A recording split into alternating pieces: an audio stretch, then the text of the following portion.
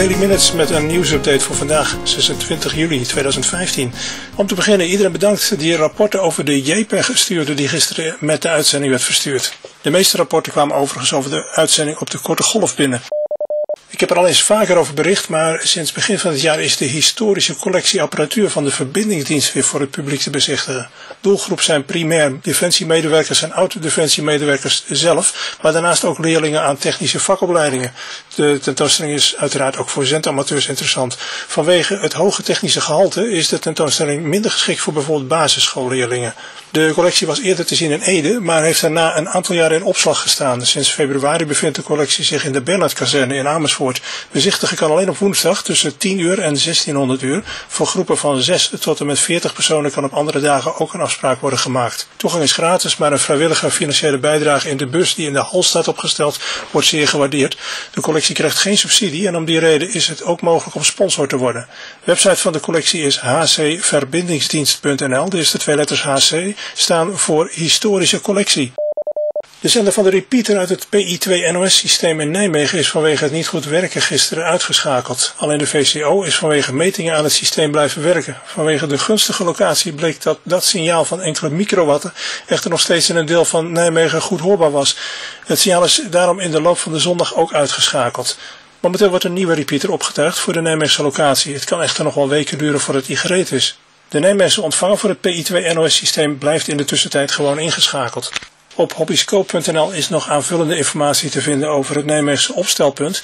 Daar staat ook dat de hoofdsponsor van de communicatie tijdens de Vierdaagse, het bedrijf Entropia, de komst van de repeater naar dit opstelpunt gesteund heeft. Het opstelpunt is verder met steun van zendamateurs uit de Nijmeegse regio tot stand gekomen, waarbij de Radbouw Universiteit de locatie en de dataverbinding ter beschikking stelde.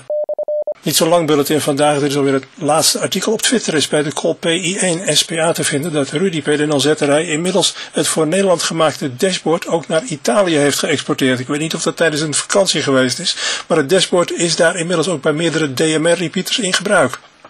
Volgt nu nog een aflevering uit ons propagatieonderwerp over de ionosfeer. Wat de propagatie betreft had ik het gisteren over de eigenschappen van de verschillende lagen en dat zich eh, boven de 200 kilometer eh, de F-laag bevindt. En dat s'nachts ja, al die andere lagen gewoon ook verdwijnen. Alleen de F2-laag, die boven de 210 kilometer, die is er dan nog. En mede vanwege de hoogtes en de afstanden dan ook heel behoorlijk. Het zijn verder trouwens ook alleen de E, de F1 en de F2-lagen die de golven reflecteren. Dat betekent niet dat de D-laag, die dus geen signalen reflecteert, onbelangrijk is. Integendeel, de D-laag buigt de signalen wel niet naar terug naar de aarde, maar de D-laag verzwakt of absorbeert de golven wel degelijk. Ga je recht omhoog, dan valt het nog mee, maar richting horizon, dan ga je schuin door een groter deel van die laag heen. En dat zorgt er dan bijvoorbeeld voor dat je op 80 meter en in mindere mate ook op 40 meter niet zo makkelijk de X kunt werken overdag. De F2-laag, eh, die eh, hoogste dus, is echter wel de belangrijkste voor de propagatie op HF. De redenen daarvan zijn er drie. Ten eerste, de F2-laag is natuurlijk 24 uur per dag aanwezig, zoals ik zei. Ten tweede is het ook de hoogste laag en dat geeft de grootste afstanden.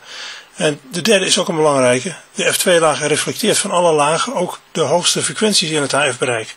Nou ja, morgen verder. Redactie en presentatie van deze uitzending PA0ETE e en PA9TV. De techniek is in handen van PA0ETE. E.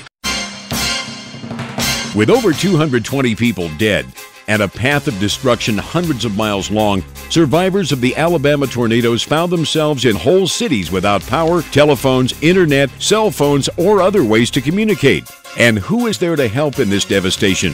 The amateur radio operators.